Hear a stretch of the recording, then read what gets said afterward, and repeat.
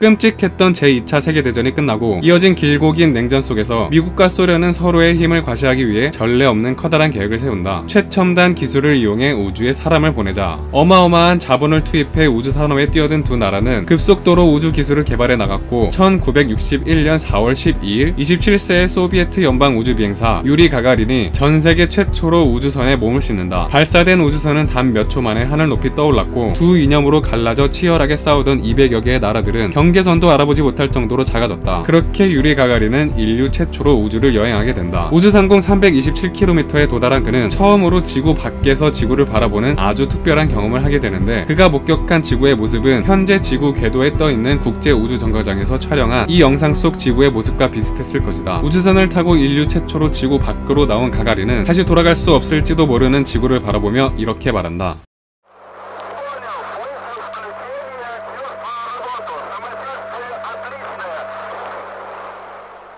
한시간 반이라는 짧은 우주 여행을 무사히 마치고 한순간에 소련의 영웅으로 탄생한 그는 인터뷰에서 이렇게 소감을 밝힌다. 멀리서 지구를 바라보니 우리가 서로 다투기에는 지구가 너무 작다는 것을 깨달았습니다. 소비에트 연방의 성공적인 우주 탐사 이후 발등에 불이 떨어져 버린 미국은 세계 최초로 달에 사람을 보내겠다는 더욱 커다란 계획을 세운다. 그리고 8년 후인 1969년 미국의 우주 비행사 닐 암스트롱은 인류 최초로 달에 발을 디디는 영광을 누린다. One giant leap for mankind. 이 순간이 지금까지도 인류 역사에서 최고의 순간으로 꼽히는 이유는 달과 지구 사이의 엄청난 거리 때문일 것이다. 우리는 공기가 좋은 밤이면 달의 거뭇거뭇한 표면까지 적나라하게 볼 수 있고 달과 지구를 묘사할 때 이런 이미지가 자주 사용되어 달이 지구와 가깝게 있는 것 같지만 실제로 달과 지구의 현실적인 거리를 나타내자면 이런 모습이 된다. 38만 킬로미터, 지구의 지름이 1만 2,700킬로미터이니 지구의 지름을 30번 더한 것과 같다. 30개의 지구가 들어갈 수 있다는 말이다. 이렇게 이번에는 미국의 영웅이 된 암스트롱은 우주 항해를 마치고 이렇게 말한다. 저 예쁘고 푸른 아주 조그마한 공이 지구였다는 사실이 갑자기 떠올랐습니다. 엄지손가락을 치켜 올려 한쪽 눈을 감으면 지구는 완전히 엄지손가락이 가려졌죠. 그런데 저는 거인이 된 것처럼 느껴지지 않았습니다. 오히려 엄청나게 작은 존재로 느껴졌죠. 과연 그렇다. 38만 킬로미터 떨어진 달에서 본 지구는 하나의 푸른 콩처럼 작아 보인다. 그런데 아쉽게도 여기까지가 인간이 지구에서 가장 멀리 떠나온 거리다. 자, 그렇다면 사람 없이 여행 중인 탐사선 중 지구에서 가장 멀리 떨어져 있는 탐사선은 어디에 있으며 그곳에서 본 지구의 모습은 어떨까? 1977년 나사에서는 태양계를 탐사하기 위한 목적으로 무인 탐사선 보이저 1호, 2호를 발사한다. 태양계의 행성들이 최적의 위치에 놓이는 175년에 한 번 돌아오는 시기에 맞추어 발사된 보이저 5는 그네 타듯 행성들의 중력을 타고 아주 빠르게 우주를 여행한다. 현재 이들이 위치해 있는 곳은 지구에서 각각 138AU, 114AU 떨어져 있는 곳이다. AU라는 거리 단위는 지구에서 태양 까지 거리를 기준으로 한 것으로 1AU는 지구와 태양 사이의 거리를 나타낸다. 보이저 1호는 현재 지구와 태양 사이를 138배한 거리에 있으며 40년째 쉬지 않고 여행 중인 이 탐사선은 인간이 만든 물체 중 지구에서 가장 멀리 떨어져 있는 물체다. 이 탐사선에서 지구를 바라보면 지구는 어떻게 보일까?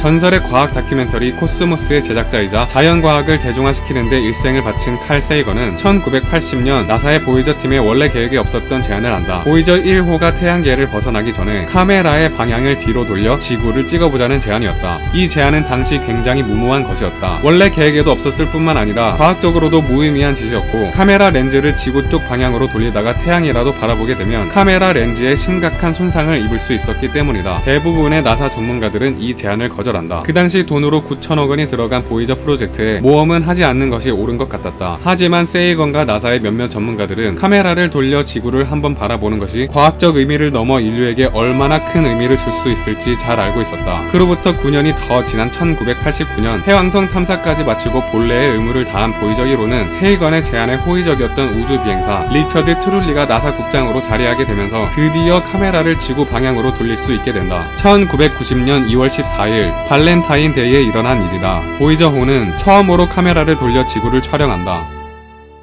이 사진이 바로 40AU에서 바라본 지구의 모습이다. 저 파란색 점, 스마트폰 스크린에 묻은 먼지만큼 작아 보이는 이 작은 점이 우리들의 집, 지구다. 이 사진을 받아본 칼 세이건은 사진의 제목을 창백한 푸른 점으로 지었고 그의 저서에서 이렇게 얘기한다. The Voyagers were guaranteed to work only until the Saturn encounter. I thought it might be a good idea, just after Saturn, to have them take one last glance homeward.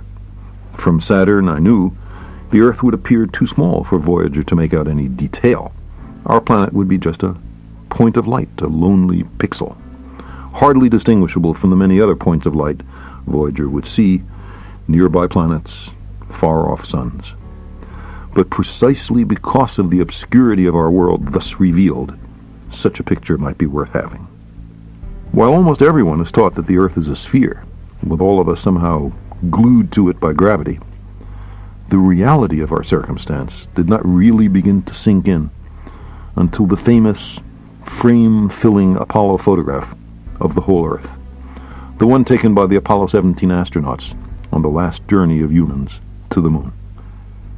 It seemed to me that another picture of the Earth, this one taken from a hundred thousand times farther away, might help in the continuing process of revealing to ourselves our true circumstance and condition. It had been well understood by the scientists and philosophers of classical antiquity that the Earth was a mere point in a vast, encompassing cosmos. But no one had ever seen it as such. Consider again that dot. That's here. That's home. That's us. On it, everyone you love, everyone you know, everyone you ever heard of, every human being who ever was, lived out their lives. The aggregate of our joy and suffering. Thousands of confident religions, ideologies, and economic doctrines. Every hunter and forager, every hero and coward, every creator and destroyer of civilization. Every king and peasant, every young couple in love, every mother and father, hopeful child, inventor and explorer, every teacher of morals, every corrupt politician, every superstar, every supreme leader, every saint and sinner in the history of our species lived there on a mote of dust, suspended in a sunbeam. The earth is a very small stage in a vast cosmic arena. Of the rivers of blood spilled by all those generals and emperors, so that in glory and triumph they could become the momentary masters of a fraction of a dot. Think of the endless cruelties visited by the inhabitants of one corner of this pixel on the scarcely distinguishable inhabitants of some other corner. How frequent their misunderstandings, how eager they are to kill one another, how fervent their hatred our posturings, our imagined self-importance, the delusion that we have some privileged position in the universe, are challenged by this point of pale light. Our planet is a lonely speck in the great enveloping cosmic dark.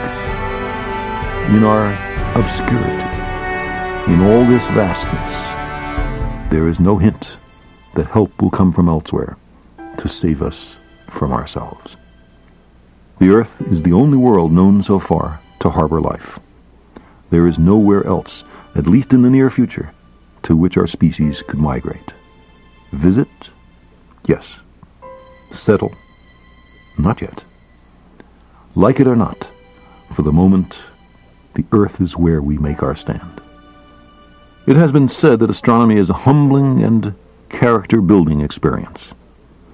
There is perhaps no better demonstration of the folly of human conceits than this distant image of our tiny world.